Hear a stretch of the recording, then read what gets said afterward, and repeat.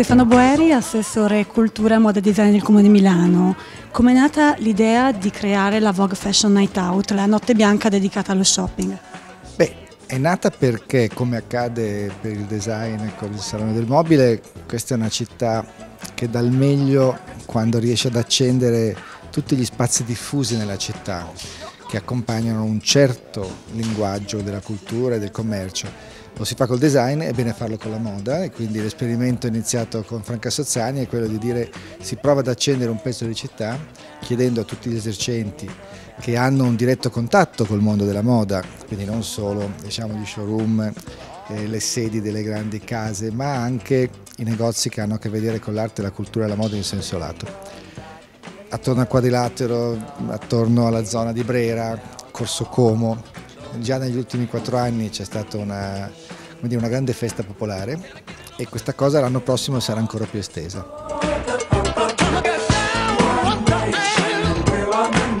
Siamo con Franca Sozzani, direttore di Vogue Italia e direttore editoriale di Condenast Italia. Buongiorno, quali sono le novità della prossima edizione di Vogue Fashion Night Out?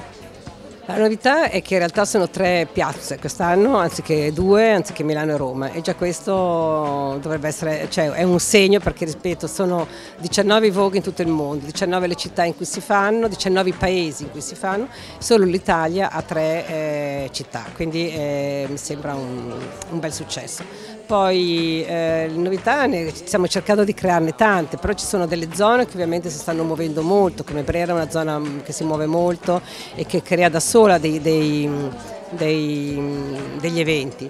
Eh, poi ci sono i negozi, no? ci saranno tante cose. Eh, adesso enumerarle eh, sono 550 negozi, quindi sarebbero 550 idee giorno per giorno. Aggiorniamo in effetti gli, con gli eventi attraverso un sito che creiamo apposta per Vogue Fashion Night Out e che è già pronto adesso e da questo momento sarà attivo e quindi caricheremo quotidianamente tutto quello che succederà.